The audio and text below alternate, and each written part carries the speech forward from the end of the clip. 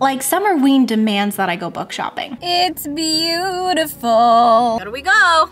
Okay, that's, it's like, the, it's so good. The next time I tell you guys, I'm gonna daily vlog in real time, you tell me no. This is the little library and here are all books. What Summerween has taught me is that evidently I am interested in horror now. I think I need to be done with super, super scary things for like a millisecond. Honey, you've got a big storm coming. Hello, spooky friends. Welcome to the sixth day of Summerween, but also technically the fourth and fifth days. Okay.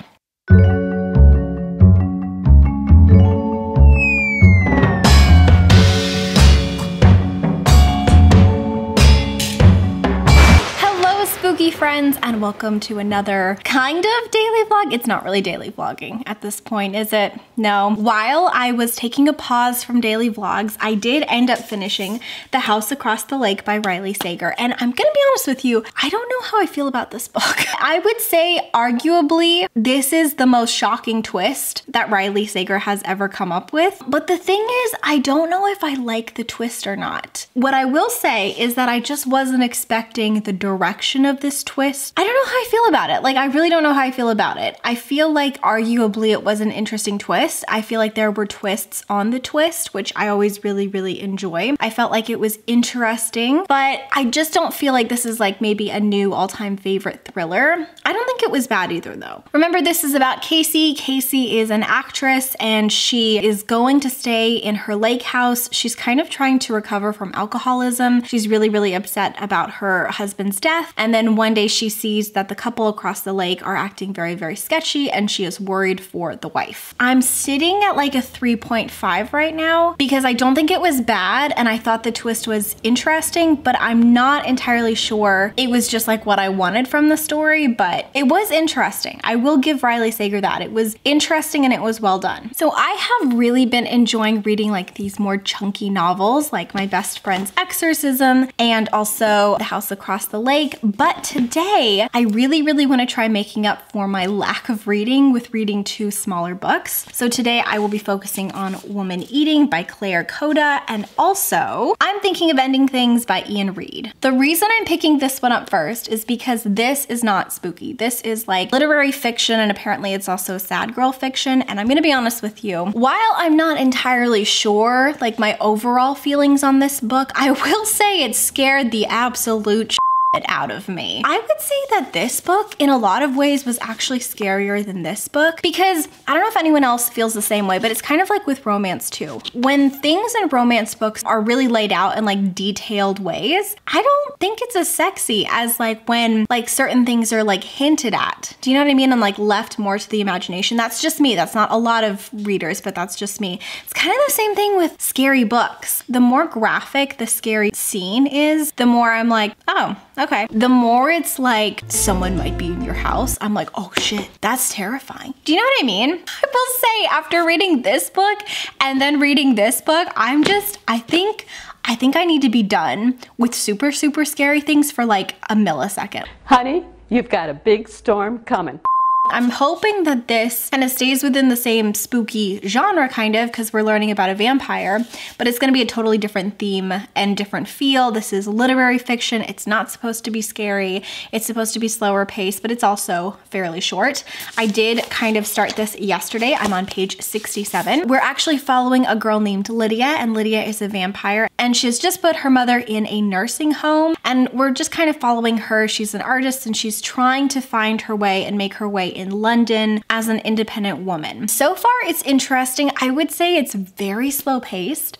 I've heard from so many people that like not a lot happens, but I enjoy books like that. So when really nothing is happening, I'm like, oh wow, they they were right. And the other one I'm picking up really because of you guys. I mentioned this in my mood TBR and this book as well as the Southern Book Club's Guide to Slaying Vampires, those were like two of some of the most popular books that a lot of people wanted me to read. So the goal today is to try to get back on track with reading, with trying to read these two things, but also I thought it would be kind of fun to break up the week and go book shopping listen. It's not that I wanted to go book shopping. It's that I need to go book shopping for Summerween.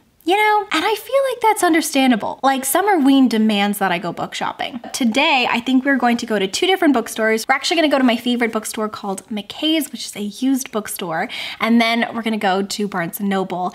I do have a favorite bookstore downtown as well, but I'm not sure if I'm going to go there because I think it's supposed to rain later and I hate driving in the rain. I'm also craving boba, so I feel like we need to go and get some bubble tea. I think that's pretty much it for the update. So having said all that, let's go book shopping. You guys look. Here we are. Wait, why was I singing the Miss America song? I don't know. It's beautiful. There she is. I would zoom in, but this is literally as far as it goes. So cool, cool, cool. Also, what are with those clouds? Don't rain on my parade. Get out of here. The first book I really, really want to get is We Were Once Dragons or something. I don't remember the name, but somebody recommended it to me. And it sounds good, and I know it's around here. Ooh, what's this? Hmm. You guys, look at how many copies of Song of Achilles there are. I have, I have never seen that before. This looks really cute. I have heard such good things about this book, so I think I might get this one. Hi friends, okay, I just got back from Barnes & Noble and surprisingly, I didn't really find as many books as I thought I would find, which is kind of surprising because I feel like I can always find books. I did find two and I will show you those when I got home, but I also really, really wanted to try this boba place in the mall. I think it's called Bubbles and Waffles, but it was seriously like the cutest place and they had so many flavors that I really, really wanted to try. But I decided to try a Thai tea with some boba and so I thought I would try it now and tell you how it tastes. Here we go. Okay, that's it's like the it's so good. So now i am at mckay's. It looks like they're doing construction to mckay's but it does still seem open. So i'm gonna go in. It looks really really busy actually. I don't know how much i'll be able to vlog um, but i'm really really excited. Hopefully i can find a couple good deals. And i'm gonna continue to drink my delicious boba. Cheers. I don't know why, but it feels cooler going in like this. Like, I hope they keep the tunnel. Doesn't it seem like we're going on an adventure? A scary one, maybe, but hey, I'm into it. Okay. There's not really anything that I am specifically looking for, but we're in YA. I didn't know this was YA. it's a good book Maybe I should go to middle grade. Oh my god. This is why I need to remember to come to McKay's. Look, I could have bought one of these totally brand new. Like, these have not even been read. That's so good. I'm really torn with this one because I don't know if I'd ever be brave enough to read it. But this one's brand new for $15. And it literally looks brand new. I don't know. I wasn't actually going to read Ready Player 2 because it's gotten really bad reviews. But it's brand new. So I don't know. Hello friends. Okay, I just got back from the bookstores and I've got my boba. It's like melted because it is freaking hot here. So I've got all of the books here, by the way, if you're looking for a Dark Academia tote book bag thing, I will link where I got mine. Isn't this so freaking cute? So I ended up getting two books from Barnes & Noble and then I think either three or four from McKay's. So not a lot, but like I really, really love what I got. Okay, so the very first book that I got from Barnes & Noble is Her Majesty's Royal Coven by Juno Dawson. So all I know about this is that this is an adult fantasy book and it's about a group of women, I think, who become besties when they're girls and they all like pledge an oath to this coven of witches and the coven basically is protecting her royal majesty. And then like years and years later, somebody is trying to destroy the coven or something like that. It says on the back, a young warlock of extraordinary capabilities has been captured by the authorities and seems to threaten the very existence of Her Majesty's Royal Coven. And then it says, with conflicting beliefs over the best course of action, the four friends must decide where their loyalties lie with preserving tradition or doing what is right. Okay, and then the next thing is huge. the next thing, I finally got Brandon Sanderson's The Way of Kings. Look at this. Look, look at this. Look. Oh my God. How many pages is this? Oh, it's got maps. Cool. 1,007 pages. I don't know anything about this, but I loved Brandon Sanderson's book Mistborn last year and my goal slash plan is to read those other two books I think in the fall and then I want to pick this up in November and December and just devour it. I have so much faith in Brandon Sanderson as an author like he is just so talented so I bought this because I've heard from so many people that this is like his best work and I just can't I, I, I can't wait to like pick it up and read it and learn all about it. Okay, let's now dive into what I got from McKay's. So I got four books. The first book I got was a freaking dollar. Can you believe? Um, and that is The House with a Clock in Its Walls. It's got this very ugly sticker on it. Special value $4, final price Joke's on you because the final price was actually a dollar. I'm assuming it's that cheap because it has like the actors' faces on it, but again, joke's on you. I would pay double for Jack Black's face on a book. You know what I'm saying? It says Tick-Tock, a murderous clock. It's about Lewis, who is an orphan, and he comes to stay with his uncle Jonathan, and he expects to meet an ordinary person, but once he is there, he realizes that they are all magical, and it's just about him with his uncle learning about magic. I think it's like scarier and darker than that. I first heard about this from the trailer. Um, the trailer looks amazing. I don't think the movie got very much hype. Like, I don't know if it did very well or not, but I really, really want to read this and then I really, really want to watch the movie excited. Next up, I got The Bone Garden, and this is by Heather Kassner. All of the books that I got from McKay's, by the way, they're all middle grade which we like love to see. It just sounds really, really intriguing. It's about a girl apparently who was put together by bone and like bone dust and she lives on the underside of a graveyard. Um, and it says down below in the underside of the graveyard, the bone garden hums with magic, mystery, and dark imaginings. Amazing. The next book is a book that I've already read.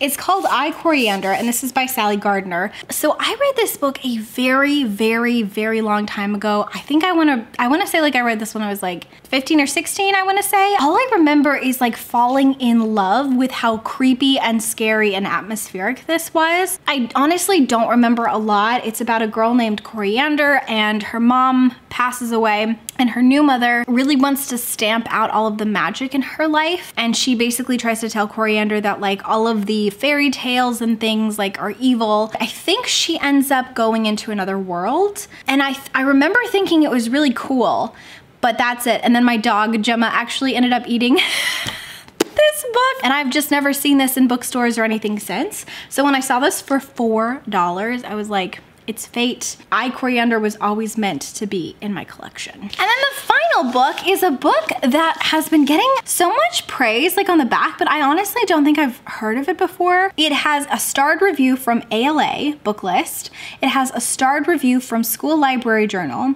It has a starred review from Publishers Weekly, and it also has a starred review from Kirkus Reviews. That does not happen. Why haven't I picked this up? This is called Miss Elliott School for the Magically Minded, and this is by Sage Blackwood. The cover is so freaking cute. It looks so magical. This is following a bunch of girls who go to this magical school. And then one day their headmistress, Miss Elliott, disappears. There's no magic to protect the city. And the fearsome marauders threaten the lives of everyone that these girls care about. And so I think they have to try to protect the city and possibly find their headmistress. I don't know. So that's it as far as my little mini book haul. But you know what I thought would be kind of fun? Fun is since I just purchased six new books, we have a neighborhood free little library. I thought it'd be kind of fun to go through my shelves and try to pick out a couple and then go to the free little library and add some. Since I was lucky enough to buy these, uh, yeah, it'd be nice to kind of give away a couple of mine too. So let's pick out some books that we can donate to the little library. I think the first one can be this one, Trust Exercise. I bought this like three years ago and honestly, I just, I never want to pick it up. So maybe somebody else will like it. Next up, I was very, very kindly sent the proof to Spindle Splintered, but I also bought the like hard copy to support the author. So we can obviously say goodbye to the proof. so I actually have two copies of the Paris apartment one that was very kindly, I think, sent to me, and then another one that came in my book of the month box. So since I have two of these, I think I can say goodbye. Okay, this one is a no-brainer. I just like did not connect with this book. I don't think it's bad. I just did not connect with this, so this can go in the free library. Somebody else will appreciate this, and they deserve to have it. They deserve to have it because they'll appreciate it. You know, I don't know if I'm actually going to read this. I got this in a FairyLoot box two years ago, three years ago, and it looks so cool, but I've had it for two years and I've never like felt the desire to pick it up. So I think I'm also going to donate this one. And then this book was so kindly gifted to me. It was so kindly gifted to me by a subscriber and I liked it, but I don't think I loved it. So I think I'd like to pass it along to somebody else as well um, so that hopefully if they end up loving it, they can, you know, keep it and read it and cherish it. And then last, I bought this book years ago. I've never read it. I've had this book for over 10 years. I don't know if I'm ever going to read it. So I think I should probably give it away to someone who's going to appreciate it. Okay, so this is the little library and here are all the books. Okay, so I think I might sort through these and like arrange them really quick and then I'll add mine. Yes.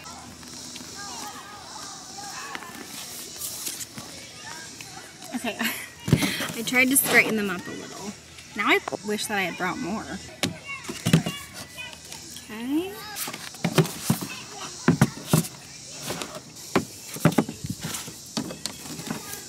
I like added like half of what was already there. So that makes me feel so good. Done. Okay, I just put my books in the little library. I didn't realize that like the sharing library was so small. It kind of makes me want to fill this up even more. Hopefully somebody finds a new favorite book out of the stack that I brought. I don't know which book I'm gonna pick up. I'm leaning towards, I'm thinking of ending things just because it would be so cool to watch the Netflix adaptation. So I think I might do that. Yeah, so let's go home and let's start that book next. Hello besties. So you know how I had a rule that I wanted to stop every single vlog like right at nine? It's almost 11. I'm gonna be honest with you. I would be asleep or like about to be asleep regularly, like in a, a normal day, because I go to sleep really, really early. But I really, really wanted to read a little bit more tonight and push myself, not to like catch up, but just to make sure that I was, you know, I felt good about like the progress I had been making in the readathon. And so I ended up reading half of Woman Eating and then I read the entirety of I'm Thinking of Ending Things by Iain Reid. I'm going to review this book right now because I literally just finished this book. First of all, I would say objectively, the writing is a five out of five star. I think if you are interested in horror, if you are interested in something scary, um, and if you're interested in like very unique plot twists and things like that. This is this is definitely I think a really really good option for you. Having said that, I I would like to disclaim, disclose a disclaimer. My enjoyment, like my personal enjoyment for this book was a 1 star. I could not have enjoyed this less. I can objectively say that the writing was truly terrifying. It was really really well written and it was extremely clever.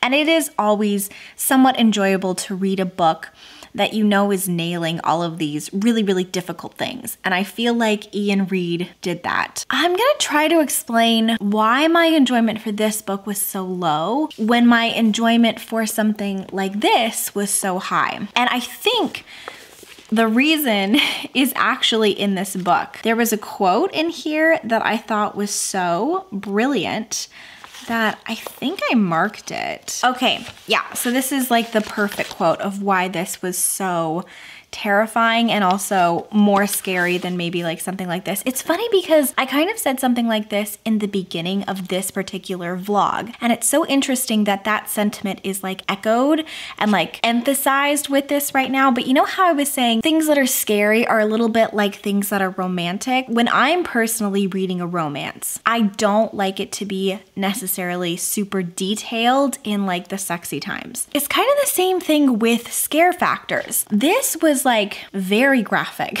It was very scary. There was lots of body horror in here. There were terrifying images, but because it was like so detailed, you almost like became desensitized to it and it, it almost like it just became statement like part of the story and it wasn't that scary.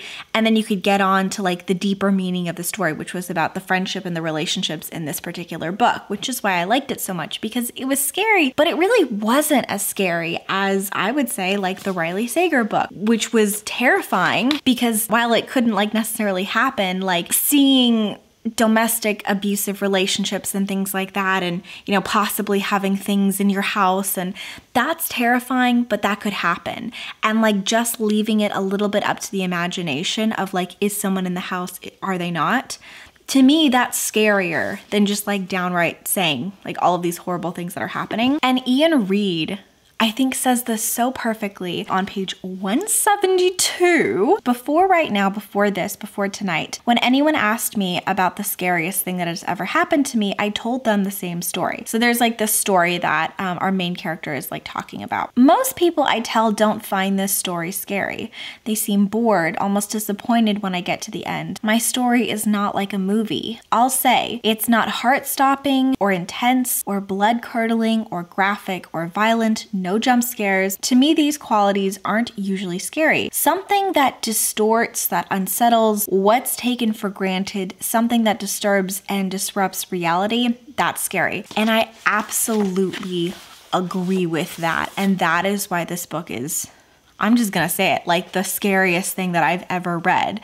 Um, I enjoy reading thrillers. I enjoy reading horror now. This was an unpleasant experience. But I want to say that it shows how good of a writer Iain Reid is for doing that because the reason this was scary is because it essentially seemed like a normal night where little tiny things were off like a glitch in the matrix. And it was just enough to where the main character was like, that seems unusual, but also it's fine. And like there were these little icky details, like her biting her nails when she hadn't realized that she had been biting her nails the whole night, or like recognizing photographs, but that's not possible, or like just like little things where she wasn't in control of the night. You know, she wasn't the driver, and so like she had no control over are they staying here for the night? Are where are they going? Why are they stopping? It's very difficult to explain, but essentially what this book nails is a feeling of claustrophobia. When you're reading this, you almost feel suffocated, like somebody is sitting on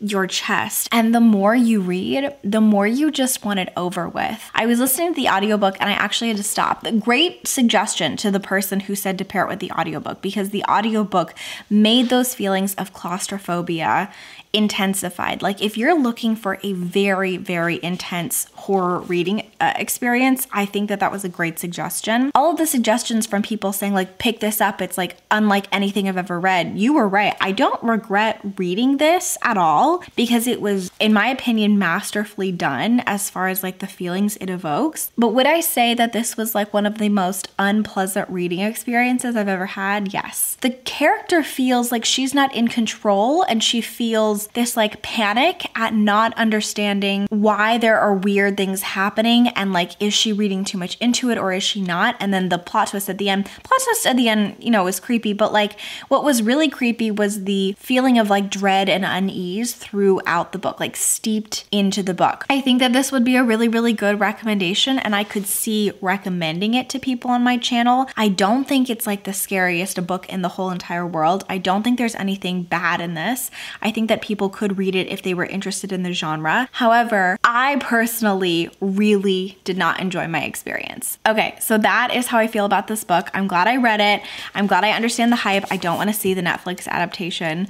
Um, I've heard that they're really, really different. I just, I'm ready to put this story to rest. I think I'm I think I'm gonna say goodbye to my copy as well. And then as far as woman eating, this is like a polar opposite. If this is the scariest book I've ever read, this might be the most boring book I've ever read. I am not saying that this is bad. Actually, I'm quite enjoying a lot of the conversations on here about identity and how loss of identity and erasure of your identity can really have like lasting impacts. Again, these are all like metaphors that I think I'm picking up on. Our main character, Lydia, is really struggling with embracing her vampire half.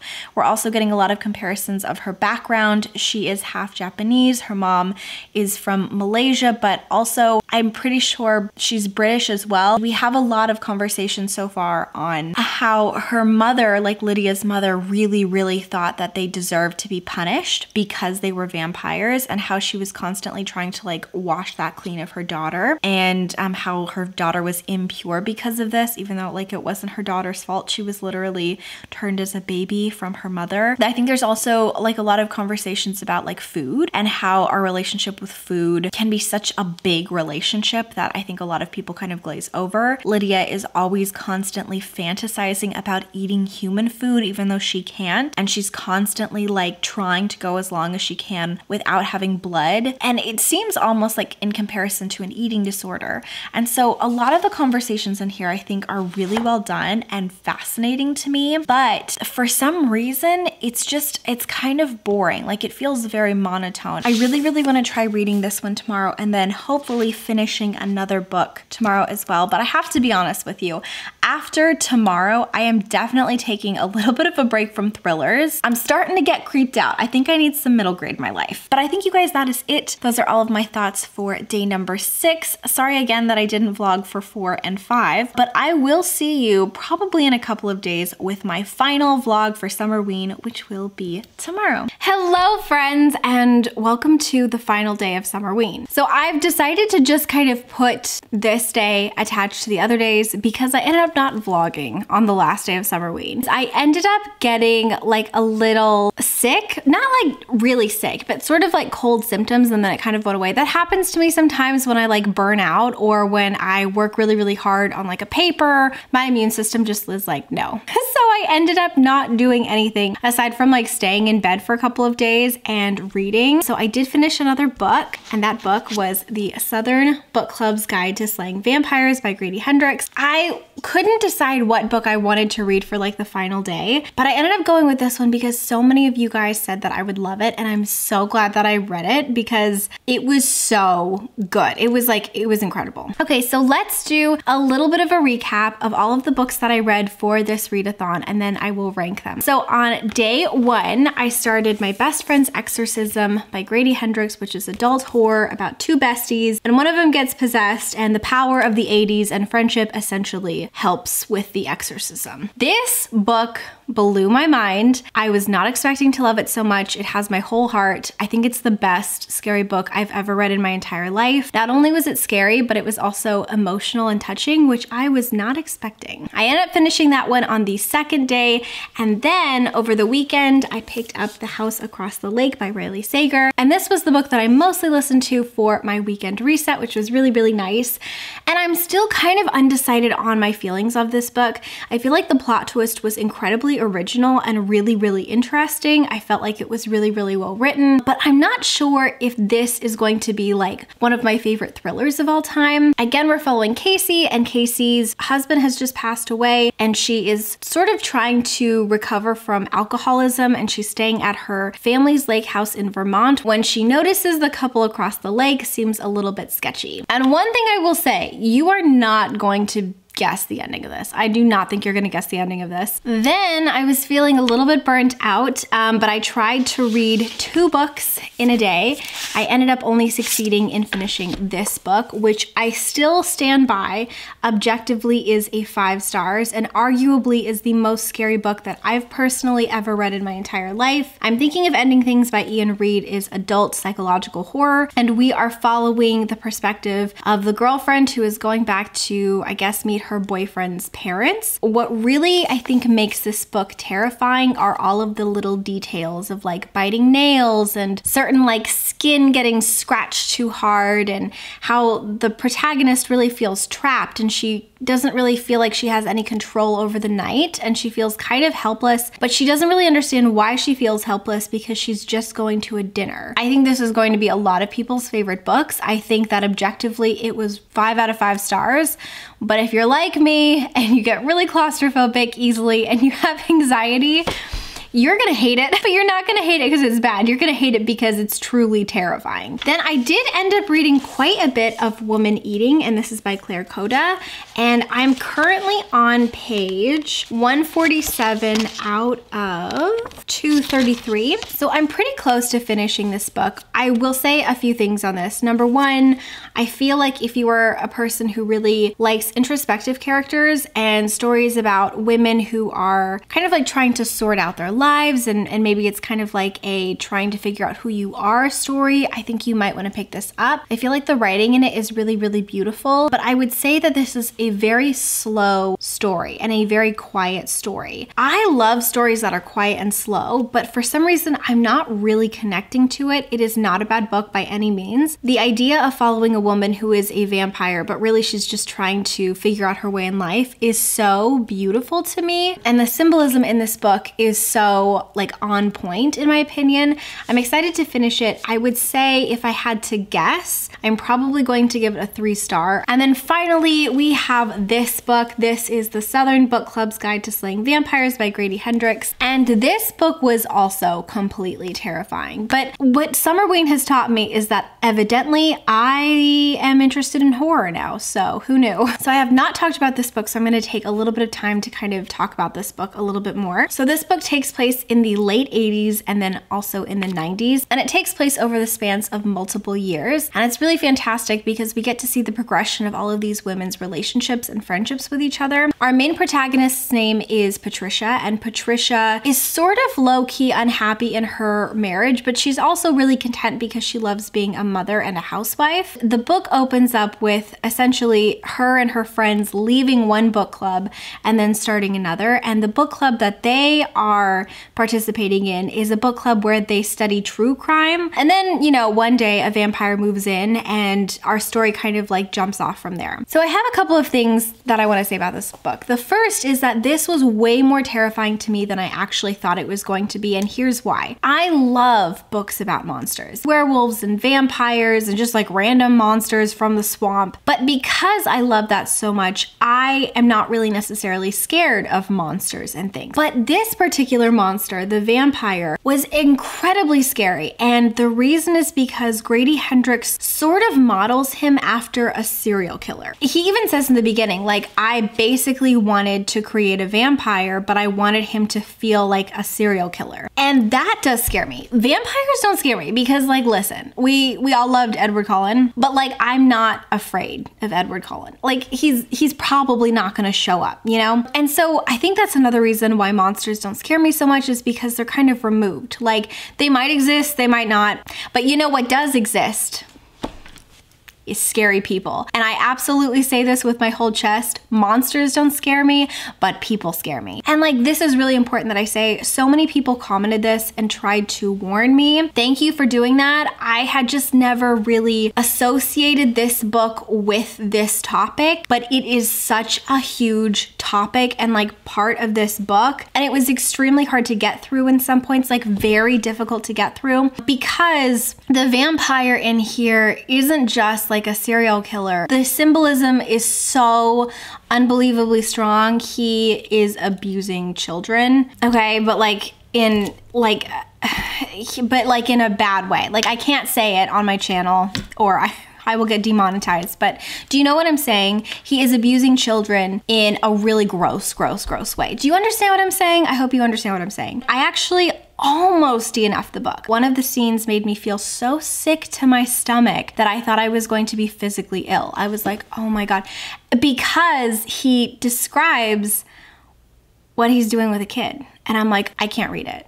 I can I can't read it. I ended up finishing it and I have to tell you it was so incredibly emotionally impactful. This group of women put their lives on the line because they were like no one is going to mess with our kids. Like it does not matter if we die trying. We will save these children from this horrible, horrible, disgusting monster. The emotional impact of all of these women who don't know how to fight, who, who know nothing about monsters, who know nothing about vampires, who are scared, who are just normal people coming together and saying, You are not gonna hurt our children was so unbelievably touching that I cried. Like I, I literally cried. I thought it was so beautiful. It was horror done so perfectly because there is nothing scarier than this disgusting monster in this book. There is nothing scarier. There's nothing more evil. The symbolism is is so blatant that that's what's happening that you just feel sick to your stomach. So if you are sensitive to that at all, just be really, really cautious going into this book. Having said that, it was incredible. I would give this probably like a four. Well, okay, objectively, it's like a five star again. It was just really hard for me to enjoy parts of it, but I enjoyed the mom's kicking ass. You know what I mean? And it had like overall just like a feeling of hopefulness and it was really, really well done. So I'm going to say that I would give this like a 4.5 star, but like it deserves five out of five stars. I just feel like it was really triumphant and really inspiring and motivating and heartbreaking and scary. I recommend it, like I highly recommend it. I don't just recommend it a little, I highly recommend it. But you need to be really cautious and like understand the themes because even though it's just symbolic, you will fully understand what's going on. But I mean, like, hats off to Grady Hendrix. He wrote a despicable monster. You will not fall in love with this vampire. You will want to smash his face in.